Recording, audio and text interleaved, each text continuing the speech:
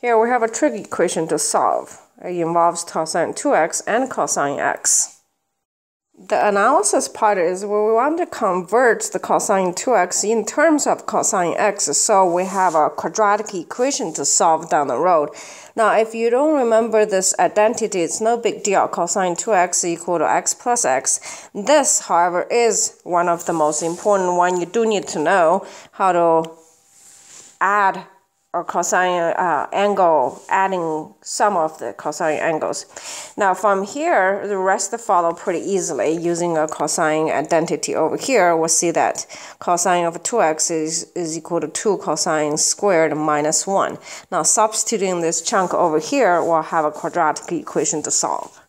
All right, and let's use what we have now and convert this one, and let's solve this one. So this chunk becomes cosine twice of cosine x squared minus 1 minus cosine of x equal to 0. Here's my quadratic equation I alluded earlier. So I have 2u squared minus u minus 1 equal to 0. Factor this one, you have u minus 1 and 2u plus 1 equal to 0. Substituting each one, you'll see that u is equal to cosine x, so we have cosine x equal to 1, or we're going to solve uh, cosine of x equal to minus 1 and a half.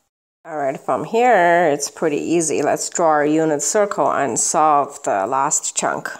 Okay, so what I have here is I drawn the circle, and here's the trick. X value is the crossing, which is the cosine value. The C matches up here. I don't know if that helps you.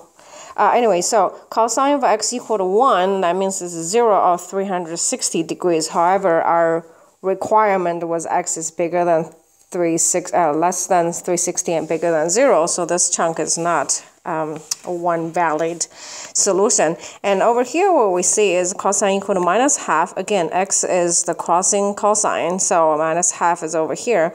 And the terminating angle, and there are two of them. x1 is this one, that's 90 plus the 30 degrees that's over here.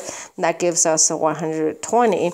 And the x2 is uh, 370 short of 30, which is the 240 degrees. All right, I hope this helps. Hi, this is Dr. Pan recording from Tucson, Arizona. Please comment or share this video. Together we can make math easy again. Have a confident day.